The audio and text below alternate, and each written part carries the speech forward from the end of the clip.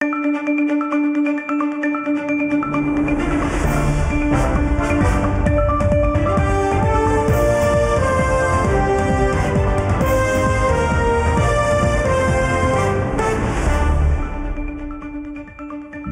nove sa Jelenom Obućinom. Dobroveče. Dan je za trgovinu. Borbene letelice Rafale u Parizu ugovara Vučić. Koštaju milijarde koje nemamo, ali na kamatu skupo kupuje podršku s polja. Unutra Brnabić iz istog razloga na izgled jeftino prodaje. Sad ispada da u četvrtak sve može i sve zove. Ponuda je primamljiva. Da dogovore izmenu tone zakona, da izbori budu pošteni. Sudeći po utisku sinoć, posle raspisivanja nema trgovanja. Sudeći po Aleksićevom potpredsedniku danas, šansa još postoji. Dakle, nije jasno je li za kupce kasno ili nije kasno.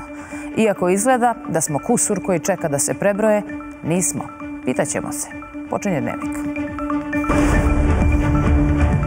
U Parizu potpisan memorandum o razumevanju sa francuskom elektroprivredom, održan sastanak sa proizvođačem borbenih letelica Rafale, Vučić uskoro sa Makronom. Nismo došli da prodajemo ništa. Došli smo da kupimo ponešto.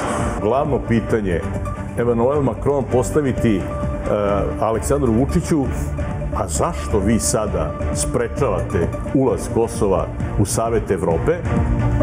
Šta bi Srbija dobila kupovinom Rafala, gost dnevnika Petar Vojnović sa portala Tango 6.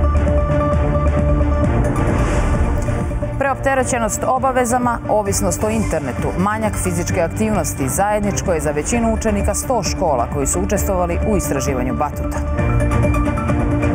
Skoro svaki drugi učenik uh, u Srbiji je probao alkohol. Svaki peti je koristio elektronske cigarete.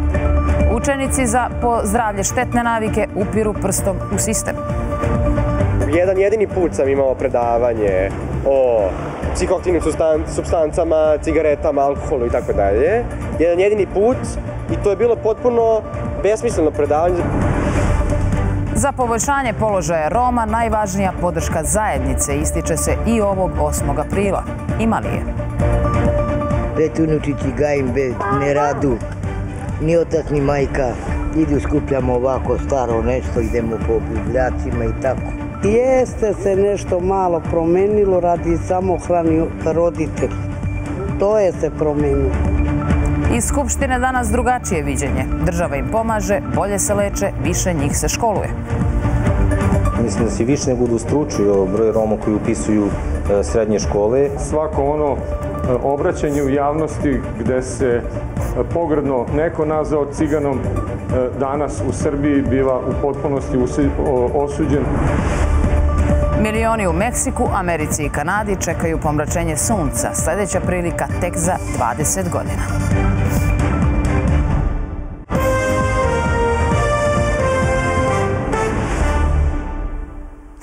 Direktor javno-komunalnog preduzeća Vodovod u Boru, Goran Pavić, podneo je ostavku na funkciju pošto je dvoje radnika tog komunalnog preduzeća osumnjičeno za ubistvo dogodišnje devojčice Danke Ilić.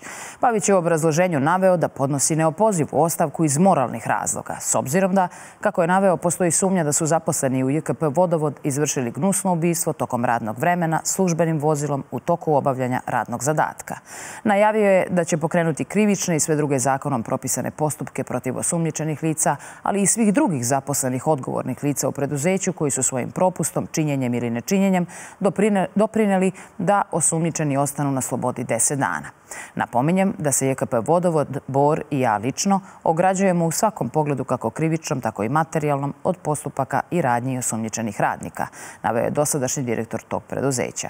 Zaposleni u Borskom vodovodu, 50-godišnji SJ i DD, uhapšeni su zbog sumnje da su ubili dvogodišnju devojčicu. Gradonačelnik Bora, Aleksandar Milikić, je najavio da će u narednom periodu, kada za to bude prilika i trenutak, biti proglašena trodnevna žalost zbog ubistva dvogodišnje Danke Ilić.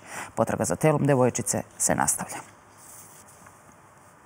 A ceo slučaj ubistva devojčice prati medijski senzacionalizam, ali i satanizacija Vlaha.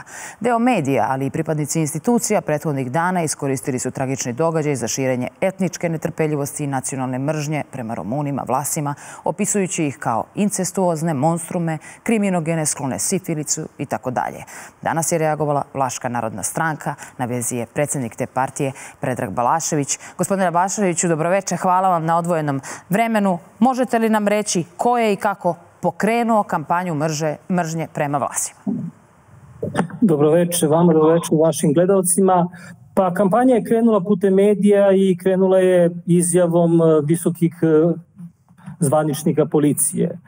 Mogli ste putem medija da ovo sve što ste rekli u vašem uvodnom delu jeste vezano za stigmatizaciju ove zajednice upravo na način kako ne treba da se radi i kako se jedan tragičan događaj koji se desi ovde kod nas, koji tragičan događaj za jednu porodicu, za sve nas koji živimo ovde, mislim da je ovo bilo nepotrebno i ovde se postavlja ključno pitanje ko želi u ovom društvu ovakve napetosti? Evo, ako se čujemo, da čini mi se da imamo probleme. Građan? Oprostite. Možda ste vi sad upravo postavili pitanje koje, koje je ključno, jer kažete, reč je o sinhronizovanoj državnoj kampanji. Sa kojim ciljem? Kome, kome bi to bilo u interesu? Ja zaista ne mogu da vam dam odgovor nije u interesu Vlaške zajednice i mislim da nije u interesu građana Srbije. Da li je u interesu nekih drugih, da kažem, ljudi koji imaju nameru da možda poremete međuetničke odnose koji su skladni i to traje decenijama, vekovima. Vlasi su najlojalniji građani Republike Srbije i svoju lojalnost su pokazali kroz istoriju. Sa te strane zaista ne, možemo, ne može nam niko prigovoriti da smo nešto ikada loše misli o ovoj državi. Ali očigledno da postoje ljudi ili možda neko ko je zainteresovan da tamo gde ne treba da bude problem, da se stvori problem. Da li da se skrene paže od nekih dešavanja, ja zaista ne znam. I zaista sa te strane naša je namera bila danas kada smo se obratili javnosti sa našim saopštenjem jeste da se prekine sa ovom kampanjom stigmatizacije vlaške zajednice, jer to nama nije potrebno. Ni našoj zajednici, ni našoj državi, U redu, ali ono što vi tražite nije samo da se prekine. I našim institucijama. Ono što vi tražite nije samo da se prekine, vi pozivate i nadležne organe da hitno reaguju. Očekujete li da neko ukori Ninoslavac Molića, načelnika UKP-a, ili da se izvini neko od ovih e, ljudi koji su govorili na Informeru ili sama televizija? Ja se nadam iskreno da će neko reagovati i da će e, prevashodno televizije koje su širile jedno, jedan govor mržnje prema ovoj zajednici da se izvini građanima e, vlaške nacionalnosti. Takođe, nadam se da postoje ljudi koji su pravi profesionalci, ljudi koji zaista e, misle dobro kako policiji, tako i ovom, e, ovom, ovom narodu ovde, da e, ovakve stvari se više ne dese. A za izjavu gospodina e, Smolića mi očekujemo da će neko reagovati i da će adekvat, adekvatne sankcije i da dobije zbog toga, zato što je prosto neshvatljivo da se tako neprofesionalno ponašao u svojim izjavama koje je davao za medije. Mislim, to je prosto neshvatljivo za nas. Hvala vam gospodine Balaševiću. Za dnevnik je govorio Predrag Balašević iz Vlaške narodne stranke.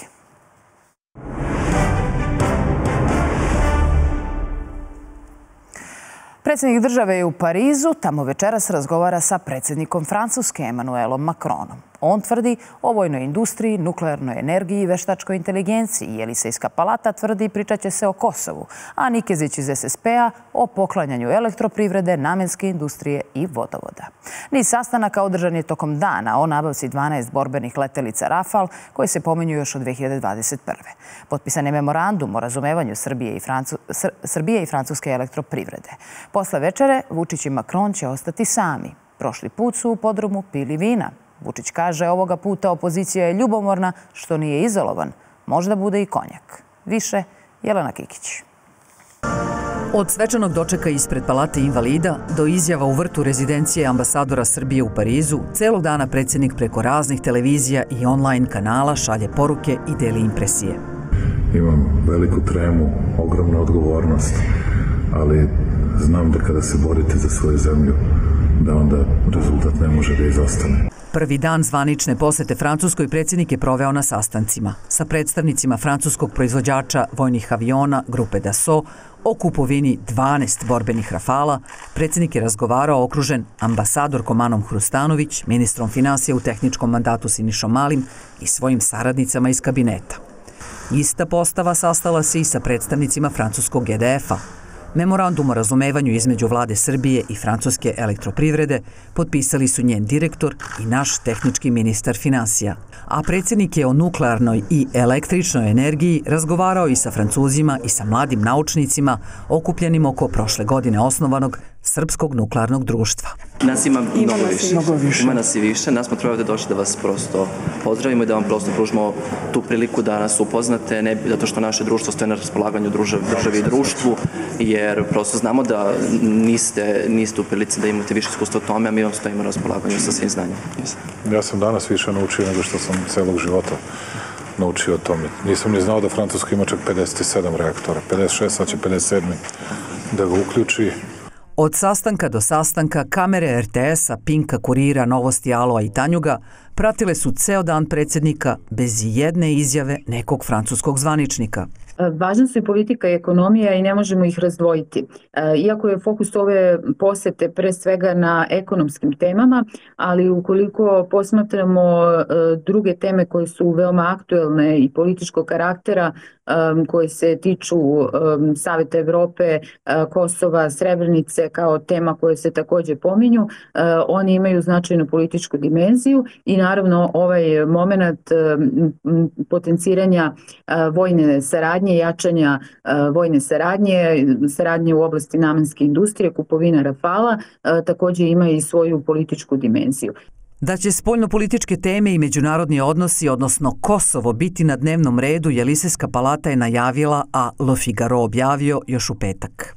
Emmanuel Macron će ovom prilikom potvrditi svoju privrženost i punu podršku evropskim integracijama Srbije i da je normalizacija odnosa sa Kosovom sastavni deo procesa pridruživanja Evropskoj uniji. Iz današnje perspektive domaćih izveštača iz Pariza, ekonomska saradnja je bila u centru pažnje. Politiku predsjednik usput spominje. Nismo došli da prodajemo ništa. Došli smo da kupimo ponešto. Došli smo da kupimo ponešto, a došli smo da razgovaramo sa našim francuskim partnerima. Ja ću razume se razgovarati i o Kosovo i Metohiji i o svim drugim važnim pitanjima. Domaći dnevni listovi i televizije s nacionalnom pokrivenošću Kosovo u oči zvanične posete predsjednika Francuskoj nisu baš apostrofirali. Nema nikakve sumnje da će kao glavno pitanje Emmanuel Macron postaviti uh, Aleksandru Vučiću a zašto vi sada sprečavate ulaz Kosova u Savet Evrope, kad ste se Bristalskim sporazumom, Ohridskim sporazumom i dogovorom Francuska-Nemačka saglasili sa time da jedna i druga država onu drugu ne sprečavaju da ulaze u međunarodne organizacije. Francuski stav o kosovskom pitanju i otvorenim temama na Zapadnom Balkanu nije od juče. Emmanuel Macron dosledno, još od posete Beogradu u julu 2019.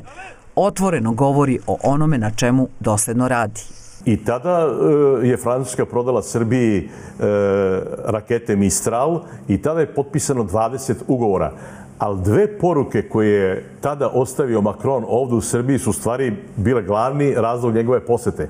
On je rekao nacionalizam nije patriotizam, nacionalizam je mržnja prema drugim narodima i veroispovestima i Kosovo i Srbija su dve ravnopravne države u Evropi.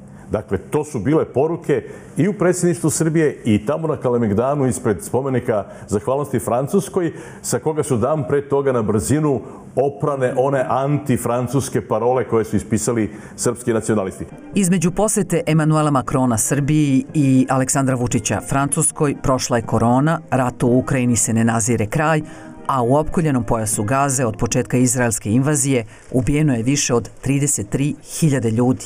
Ono što e, takođe je bitna Srbija u ovom kontekstu Francuskoj jeste i geopolitički značaj u smislu evrointegracije regiona i onoga što E, postoje, što su prepoznati još e, pre ovoga, e, kao uticaj nekih drugih država, pre svega mislim Rusije, Kine, pa i Sjedinjenih američkih država delom na ovom prostoru i upravo Francuska želi da ima i tu vrstu političke moći u kontekstu onoga što je negde strategija Emanuela Makrona, da on ima jedan snažan uticaj kao evropski lider, ali i kao svetski lider. Po planu posete, večeras u 8 je predviđen zvanični susret dvojice predsednika, praćen izjavama za medije i svečanom večerom. Aleksandar Vučić najavljuje i razgovor teta-tet sa Emanuelom Makronom, a sutra se nastavljaju sastanci, razgovori i izjave. Jelena Kikić, Televizija Nova. Nabavka Rafala je ogromna nova snaga za Srbiju. Nabavka će biti obnarodovana večeras, najavio je danas predsednik u Parizu. Ta nabavka pominje se još od 2021. ali veća novost je, tvrdi večerašnji gost, najava nabavke helikoptera H-125M od Airbusa. Na predstojećem četvrtom vazduhoplovnom samitu Jugoistočne Evrope 22. i 23. aprila u Beogradu učestvovaće i kompanija Airbus. U studiju je organizator konferencije Petar Vojnović, urednik portala Tango 6. Dobro večer. Dobro večer. Hvala što ste ovde. Hvala na pozivu. Borbene letelice, Rafali, prvo pitanje je da li nam je to potrebno? Dakle, reč je o nabavci, najboljoj nabavci višnamenskih borbenih aviona. Mi trenutno imamo lovce koji su sada unapređenjem koji smo uradili u poslednjih par godina e, postali više namenski borbeni avioni kao i ovi, ali su oni stariji jednu generaciju i neke originalne od njih smo nabavili još 1987. godine. E, ti MIGovi 29, e, njihov vek upotrebe, odnosno upotrebljivost i ta borbena upotrebljivost izlazi dakle negde između 27. i 31. godine otprilike. I zbog toga je pre tri godine su krenuli pregovori o nabavci nabavci uh, Rafala, koji je dakle, trenutno jedan od najmodernijih uh, i najsposobnijih više namenskih borbenih aviona. Da li je to potrebno ili nije zbog mm -hmm. uh, te zaista velike cene. Uh, A koja je to cena? Uh, nama je baš konkretno predsednik na jednom od sajmova uh, na to pitanje rekao da se otprilike priča o 3 milijarde uh, evra, ne samo za avion, već i za paket na oružanje i svu tu pratiću... 3 milijarde evra za 12. 12 aviona 12. i na oružanje A naša vojna, a, a koliki, koliki je budžet vojni? Uh, jedan je oko milijardu. Dakle, te, mm -hmm. takve nabavke se inače realizuju iz nacionalnog budžeta, dakle nikada ne iz vojnog. Um, I uh, ono što, dakle, odgovor na pitanje da li nam je to potrebno, a toliko je skupo, uh, zapravo da jeste zato što je reč o uh, najbitnijem vidu oružanih snaga, vazduhoplovstvo, uh, najsposobnijem uh, oružju koje možete kupiti. Dakle, mm -hmm. višnamenski borbeni avion može da radi neke zadatke, odnosno većinu zadataka u jednoj letelici i da dejstvuje po letjelicama u vazduhu, po ciljevima na zemlji. Ovaj konkretno avion je, da kažemo, prilično modern zbog svog paketa za elektronsko ratovanje i još mnogo tehničkih razloga. Dakle, vi ne možete da imate oružane snage danas u 21. veku A da nemate, nemate ovakve modern borbeni avion, čak i ako ste, na primjer, kao Hrvatska u NATO-u, pa onda imate razmatranja da li ste dovoljno mala zemlja, šta će vam to, eto, na primjer, i Hrvatska je to, dakle, uh, pa evo, znači, da... Hrvatska ima identičan broj tih uh, aviona, doduše polovnih. polovnih. Sad, ako bi zaista to bilo dogovoreno i ušlo se u tu uh, nabavku, Mislite li da to može da poremeti nekakve odnose ili da pojača tenziju u regionu? E, dakle, mi ne možemo da budemo jači od svih ostalih zemalja, dakle, NATO koji nas okružuje. Dakle, mi nikada nikome nećemo apsolutno biti nikakva pretnja. E, ratno vazduhoplovstvo Srbije je jedno od najmlađih ratnih vazduhoplovstva u istoriji e, sveta. Mi imamo toliko dugu tradiciju. Ta, to opredeljenje da budemo neutralni preduslovljava ovakve, ovakve razmatranja, ali opet, dakle, oružane snage u 21. veku bez mm -hmm. moderne avijacije su uh, zaista uh, nešto slabije u poređenju, na primjer, sa svim drugim zemljama koje baš imaju ne konkretno Rafale, ali adekvatno uporedive avione četvrte generacije i mi nešto novo, dakle mi imamo isti taj hardware, te migove od godišta 87. 90. Ova sada poslednja unapređenja su zaista nešto što je poslednje moguće što ste mogli da uradite, ali oni su već na samom izdisaju. Dobro, Ukoliko... ako bi se ovo dogovorilo danas, kad stižu Ako bi se recimo zaista kupilo, kad biste koji rok isporučili? Dakle, igrom slučaja, dakle, mm -hmm. kompanija koja ovo proizvodi, da SO e, je sada prilično popularan, odnosno baš ovaj avion e, ima nikada više naručbina. On je, dakle, postoji taj red zemalja koji su ga naručili. Mi bi najverovatnije mogli da ih dobijemo negde 2030. godina, dakle, između, na primer, 30. 35. godine, ali to je moguće deo ovih pregovora, dakle zbog čega sada predsednik mora da bude tu, pošto je to mm -hmm. privatna uh, francuska kompanija, dakle francuski predsednik sada uh, može do nekle nešto da utiče. Ali možete to da nam postoji, objasnite? Da- Zašto bi se sa Makronom razgovaralo o kupovini zbog, nečega od privatne kompanije? Dakle, zbog dva, dva razloga. Dakle, mm -hmm. prvi je ovaj koji sam počeo, dakle da uh, je možda moguće da se uh, neki slotovi za proizvodnju tih aviona koje je francusko ratno vazduhoplovstvo naručilo za njih ustupe Srbiji. Dakle, dakle oni imaju nekoliko desetina komada svake godine. Mm -hmm. Tu je možda dakle na tom diplomatskom predsednik predsednik uh, nivou. Uh, a druga uh, priča je dakle ta cena, dakle da li možda vidjet ćemo je zapravo reč o nekom svojevrsnom kreditiranju, odnosno finansiranju tih te kupovine od strane možda Francuske. Hrvatska, mm -hmm. na primjer, je svoju kupovinu podelila na nekih pet ili šest godina, dakle takve Otplate. stvari otplaćujete po 200-300 miliona uh, godišnje uh, i uh, sve zavisi dakle da li je možda i to na stolu, naravno u kombinaciji sa drugim nekim javno-privatnim partnerstvima, odnosno državnim projektima koji se dešavaju sa Francuskom. Vi ste, e, mi smo od Francuske već nešto e, nabavljali, je li tako? Čini mi se da je Rade Veljanovski malo prepomenuo te rakete, rakete Mistrala i neke I helikoptere, je li tako? Helikoptere, tako je. Mm -hmm. Dakle, e, od jedne druge takođe privatne kompanije koja je zapravo u većinskom državnom vlasništvu Francuske, Nemačke i Španije, to je Airbus, dakle najveća aerovska kompanija koja se bavi proizvodnjom letelica. Mi smo već od 2016. krenuli u kupovinu sad skoro 20 i nešto tih helikoptera, tako smo zanovili te potrebe za policiju i vojsku. Jesu tu, ti helikopteri sad gasili na Novom Beogradu kad je e, gorelo? to, to su bili ovi ruski.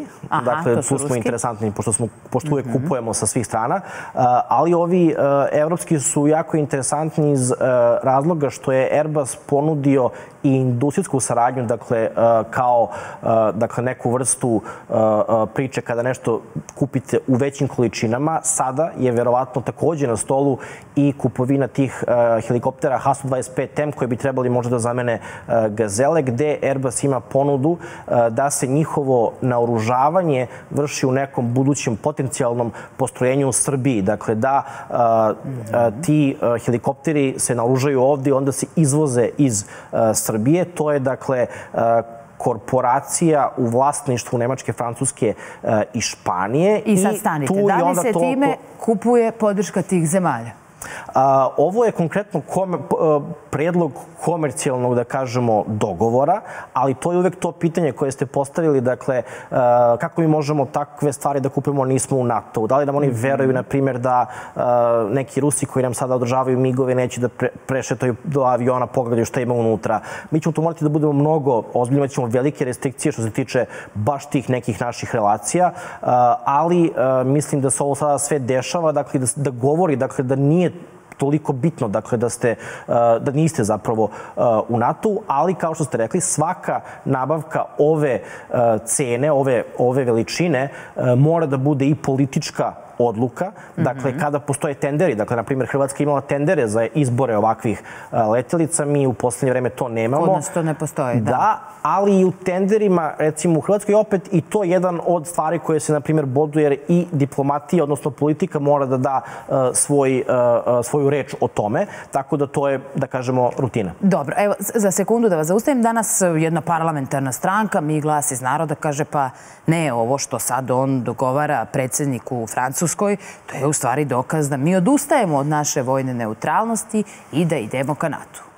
To je baš možda suprotno, dakle ta proklamovana vojna neutralnost, dakle koju samo mi emitujemo, ona mora da bude naravno priznata od drugih zemalja, ali nebitno, dakle, ako ste već u toj poziciji, da ste bukvalno fizički okruženi NATO zemljama, zapravo je logično da uh, jačate svoju uh, vojsku i mislim da, dakle, Francuzi su posebno liberalni u prodaji pa i ovakvih savremenih vojnih sestava, na primjer Egiptu, nekim azijskim zemljama, Emirati su, na primjer, takođe u redu za isporuku ovih aviona i jednostavno ovo je više biznis, dakle podjednako i mm -hmm. mislim da je možda samo šteta za nas u nekim nesvrstavanjima, a što se stranaca tiče, dakle samo mi nešto kupimo i sve će biti u redu. I sve u redu.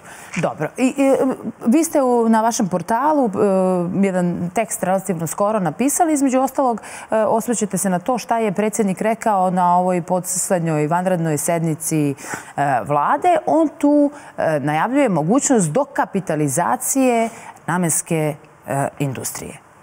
Da li bi umeli da nam objasnite šta to, e, šta bi to donelo Srbiji? Jel to otvara prostor za neka treća tržišta? Jel to zatvara mogućnost da vam neko kaže aha, zašto vi sad, ne znam, izuzite tamo oružje ili i, i tako dalje? Čemu to, čemu to služi kad sve što mi slušamo je da naša namenska industrija cveta, da nikad u boljem stanju? To je prva, jedna od prvih, mislim da je bilo i ranije tih izjava, ali nije bilo skoro. Dakle, ne verujem da je vezana za ovu nabavku. Inače, ti offset programi, dakle, da vi kupite od neke države, e, odnosno kompanije nešto, pa da oni neki ekvivalent tih para ulože u vas, pa da se to mhm. onda uh, poništi. To je, čak ja sad mislim, i zabranjeno u Europskoj uniji. Ne verujem da to ovde slučaj. Najverovatnije je predsednik države uh, pominjao uh, dakle, i ograničio se da to neće biti preko 50%. Najverovatnije na one najneglamuroznije fabrike i postrojenja u našoj namenskoj industriji koje proizvode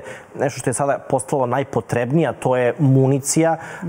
to su, dakle, to je municija, to su granate, to su sve ono što se tada troši u Ukrajini i te kompanije, dakle, pod državnom, da kažemo, vlasništvom i kontrolom Ministarstva odbrane su uvek preko Ministarstva odbrane, da li preko Jugo importa, dobijale finansijske inekcije zbog obrtnog kapitala, zbog potrebe da se modernizuju, uvek nisu bile toliko efikasne, što je konkretno Vučić uvek kritikovao.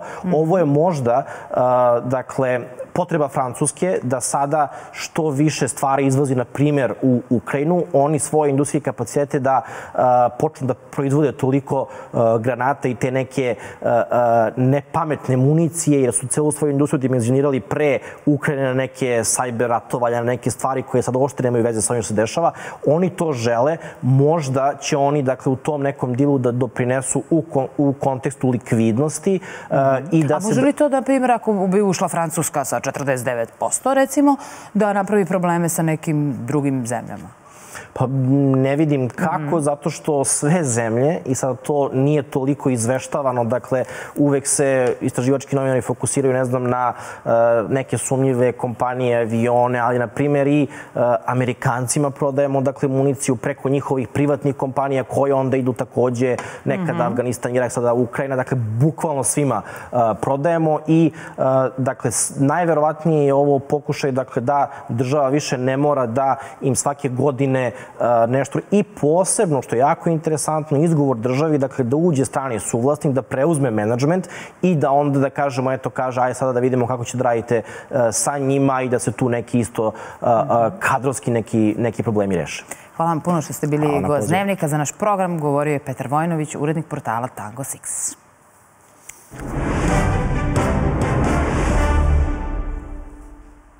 Počeo je upis dece u vrtiće u Beogradu na portalu e-uprava. Trajaće do 17. maja, a na raspolaganju je nešto više od 14.000 mesta. Do polovine juna očekuju se preliminarni spiskovi, a konačna rang lista se očekuje početkom jula, rekla je sekretarka grada Beograda za obrazovanje i dečju zaštitu Aleksandra Čamagić za RTS. Na portalu e-uprava, pokretanjem usluge e-vrtić, roditelji treba da popune obrazac, a donošenje izvoda iz matične knjige rođenih, uvođenje o prebivalištu i zaposlenju nije potrebno jer se podacima pristupa automatski. Dečak pretučen u dvorištu osnovne škole na Novom Beogradu primljen je u urgentni centar. Đaci pretukli učenika šestog razreda u toaletu škole u Velikoj plani. To su vesti o vršnjačkom nasilju u prethodnih sedam dana. To što se o njemu više priča ne znači da je u porastu, kaže ministarka prosvete. O nasilju u školama bilo je reči i u Institutu za javno zdravlje Milan Jovanović Patut, ali se u okviru istraživanja o zdravlju dece pričalo i o povećanoj upotrebi alkohola, cigareta i drugih psihoaktivnih substanci u školskom uzrastu. Priču nastavlja Ana Zulpehari. Mesec i po pošto se 23 tinejdžera otrovalo alkoholom u Beogradskom noćnom klubu. Stižu alarmantni podaci Batuta. Čak 20% dece školskog uzrasta se povremeno, a 7% redovno opija. Skoro svaki drugi učenik uh, u Srbiji je probao alkohol. Najviši procenat je među dečacima prvog razreda srednje škole, a tokom 30 dana koji su prethodili istraživanju e, trećina učenika je pila. A učenici podležu i drugim pozdravlje štetnim navikama. I gotovo ispred svake škole, pre i posle časova mogu se videti grupe koje koriste obične, a sve češće i elektronske cigarete. Noviteti su nikotinske kesice, to je snus i pafovi. 19,9% učenika srednje škole, dakle svaki peti je koristio elektronske cigarete, što baš i nije dobro, naravno, nikako. Na tome treba raditi. Čini mi se da je ovaj rezultat ovde i, i još i dobar kada, zato što smo sprovodili samo u prvom razredu srednje škole kada bi analizirali e, kasnije problem recimo sa, sa pušenjem, siguran sam da bi rezultati bili i, i možda i gori nego što su u, u ovom istraživanju. Kanabis je probalo 8 od učenika prvog razreda srednjih škola.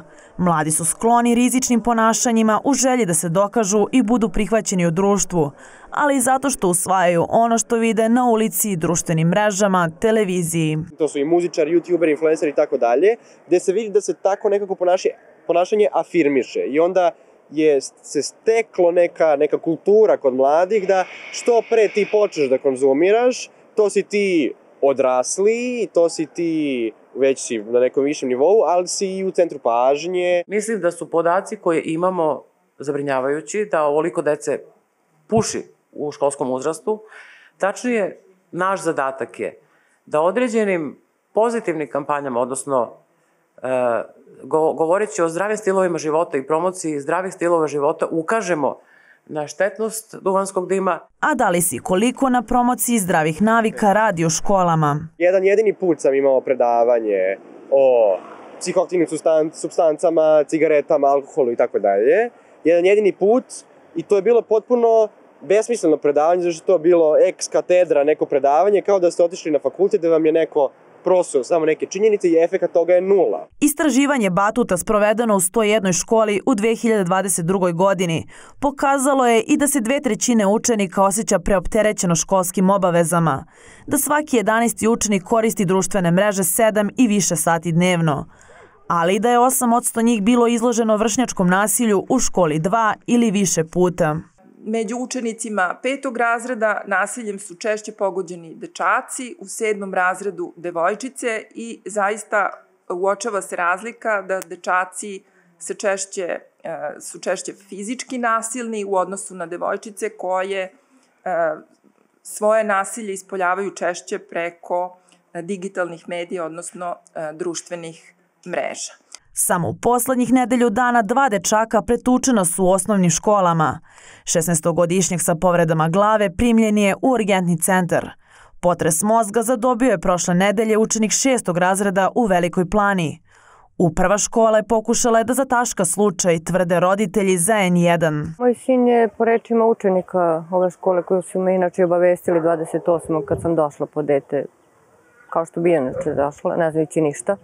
E, napadnut od strane svog vršnjaka, prebijen tačnije toaletu škole, gde me niko nije obavestio. Volila bi da svako odradi svoj deo posla.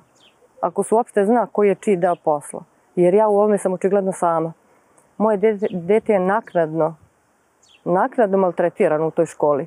Ostalo je na trećem času, jer ga nisu pustili da ide kući. Na trećem času je dete insistiralo da ga boli glava i da izađe. Dobio je odgovor, pa ne možeš, izašao si juče ranije sa nastave. Na prevenciji nasilja i donošenju protokola mnogo se radilo posle 3. maja, kaže ministarka prosvete, koja ne vide da je vršnjačko nasilje u porastu. urađeni su mnogi priručnici, izmenjena su akta koja regulišu ponašanje u kriznim situacijama i rukovodstva škole i nastavnika i dece i kontakt sa roditeljima. Formirani su u svim školama timovi za slučaj nasilnog ili kriznog ponašanja i tačno se zna procedura šta rade. Dakle, mnogo toga je urađeno, ali ono što je najbitnije, mi smo potpuno otvorili ovu temu. Vidljivost teme nasilja se povećala, a broj nasilnih radnji se nije povećao. Svetska zdravstvena organizacija ističe da u odnosu na njihov prethodni izveštaj učenici su manje zadovoljni svojim životom i zdravljem, ne osjećaju se dobro, spavaju manje i nervozni su. Ana Zulbehari, Televizija Nova. Diskriminacija, siromaštvo, nezaposlenost, školovanje. To nije kraj spiska problema sa kojim se suočavaju Romi u Srbiji. Na njihov međunarodni dan u Beogradu je organizovan niz okruglih stolova, a zvaničnici šalju poruke ohrabrenja. Oni na koje se to odnosi boljitak ne vide. Sa jednima i drugima je razgovarala Dina Cepenjar. Svakog 8. aprila na Svetski dan Roma vlast obećava da će raditi na unapređivanju njihovog položaja. Ipak u Srbiji najveći broj njih živi od socijalne pomoći. Sine da ti kažem nije ni najbolja, nije ni najloše. Nema neke uslove, nema, ima malo higijena, ali skupo. Skupo da se kupi. Primam 13-14 hiljade socijalno, šta ću s njim pre? Pet unučići gajim bez ne radu ni otac ni majka. Idu skupljamo ovako staro nešto, idemo po bubljacima i tako. A zdra, zdravstveno osiguranje, kakva vam je zdravstvena usluga? Mislim, ono imamo. Preko socijalna to imam. Kako je Aleksandar Šapić pre nekoliko meseci izračunao, Romi u Beogradu žive u 165 nehigijenskih naselja. Higijena još malo ovdje smo proglasili da još uvek da nije nehigijensko naselje, što se tiče ovog dela kraja, imamo dosta duše tih ciganskih mahala, ali ovo smo vidite, možete slobodno da okrenete kadar tamo, ovaj, napravili smo da to ne bude romsko na, nehigijensko naselje. I svakog 8. aprila govore o istim problemima. Pomaka skoro da nema ni u socijalnom ni u ekonomskom položaju, o čemu i sami svedoče. Pa nije, ne znam da li se premeni. Ne znam, više sam bolesna nego zdrava što sam. Taj socijalno ide na lekove, na ovaj aparata, idem po kontinerima i šta da radim? Od gospoda Boga pala e, gospodinu Vučiću što nam izađe sve u susret, kao da je naš, naša majka, naš otac. Jeste se nešto malo promenilo radi samohrani roditelj. To je se promenilo. Primjer, evo ovaj siromak, njegova čerka, primjer, ide u mentalnu školu, znaš, na Bano Brdo. Skinuli ga sa socijalnom, nema to od čega da živi. On je dok je vodi u školu i vraća je kući, on ne može da radi pa da se ubiš. Do stanice do ovde ne imaš sve šume i ono, znaš, kao parkovi, one, tu, tu svašta su rado, ljudi, narod, deca drogiraju se sve i svašta, on ne sme da pusta svoje dete. Jedan procenat studenta u Srbiji su Romi, a skoro 5000 Roma ove godine je upisalo srednju školu, dok 50% romske dece koje završe osnovnu školu upišu i srednju. Srednju završi oko 65 od njih.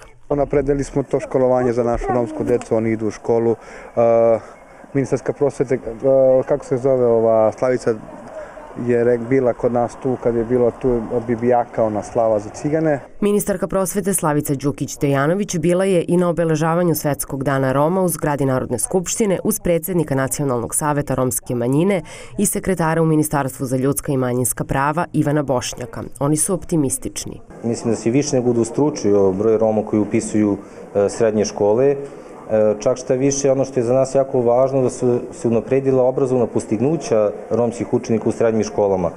Znate, kada jedna romska porodica koja recimo, ajde, živi od neke socijalne pomoći od neke 20.000 dinara, kada dete dobije stipendiju od 8.400 dinara, to je jako važno za njihov kućni budžet. Svako ono e, obraćanje u javnosti gde se e, pogredno neko nazao ciganom, E, danas u Srbiji biva u potpunosti osuđen, marginalizovan i izaziva reakciju svih e, struktura. Svedoci ste i vi da je trenutno najgledaniji film upravo u jednom Romu o, o Džeju Ramadanovskom, da e, u mnogim drugim ne može da prođe nijedno proslava slavlja da se ne peva neka pesma koju je neko od romskih autora postigao. Da nije mnogo postignuto, misli iz opozicije. Iz Zeleno-levog fronta poručili su da su loši uslovi stanovanja i problemi pri obrazovanju najozbiljniji problemi sa kojima se susreću Romi i Romkinje.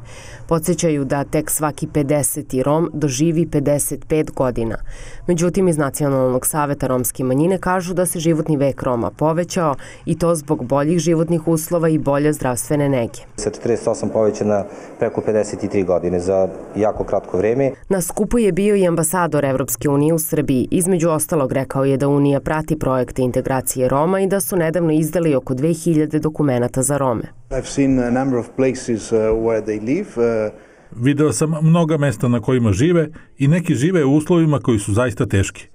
I mi radimo na projektima koji bi njima pružili bolji život, na primer adekvatan smeštaj za Rome, ali mislim da je najvažnije za njih da se integrišu u društvo, da imaju pravo na školovanje, pravo na rad i da mogu da doprinesu društvu. Bilo je najavljeno i prisustvo predsednice Skupštine Ane Brnabić koja nije došla pa je propustila i čestitku na romskom.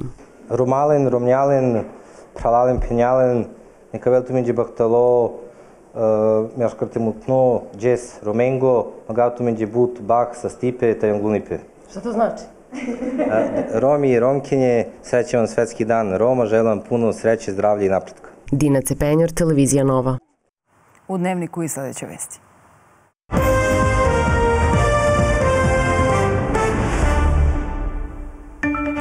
Istraga u slučaju sumnjive smrti novinarke Radislave Dade Vujasinović predstavlja stvarni poraz srpskog pravosuđa jer je i posle 30 godina postupak u predistražnoj fazi, ocenio je danas advokat Marko Pušica.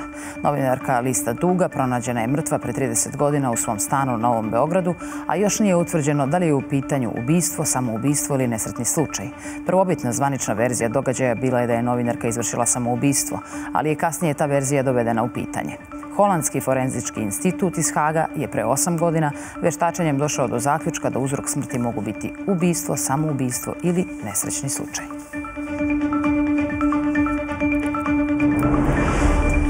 Vlada Srbije donela je odluku o privremenoj zabrani uvoza peleta od drveta u cilju neophodne zaštite života i zdravlja biljaka i životinja, objavila je Kapija. Ograničenje uvoza uvodi se na period od 90 dana. Blaga zima uticala je na pad potrošnje samim tim i pad potražnje za ogrevnim drvetom, ali i drugim tipovima drvnih goriva, a to je dovelo do pada cene peleta za 15 do 20 odsto u odnosu na januar ove godine.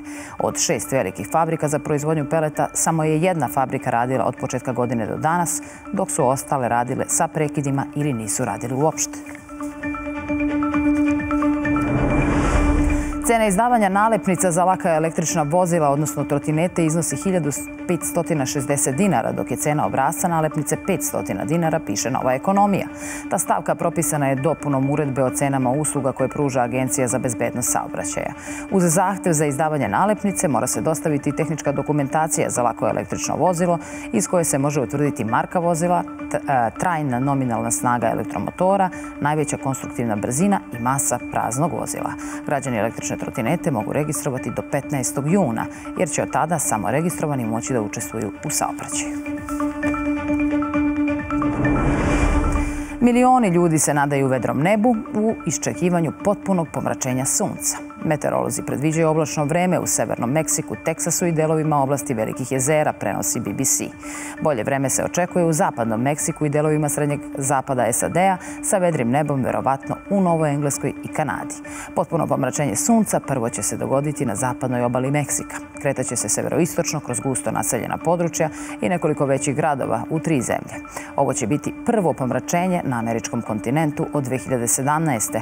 a sledeća prilika za ovaj fenomen biće 2044.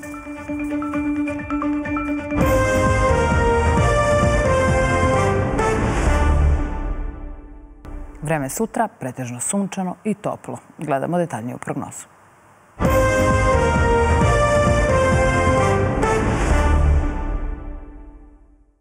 U Srbiji sutra pretežno sunčano i toplo vreme sa slabijim vetrom. Najniža temperatura kreteće se od 5 stepeni na jugu Srbije do 15 stepeni u Beogradu, a najviša dnevno od 27 do 31 stepen. U Beogradu sutra pretežno sunčano i toplo vreme sa umerenim jugoistočnim vetrom. Najniža temperatura kreteće se od 13 do 15, a najviša dnevno oko 30 stepeni. I narednih dana pretežno sunčano i toplo vreme, povremeno uz prolaznu umerenu oblačnost.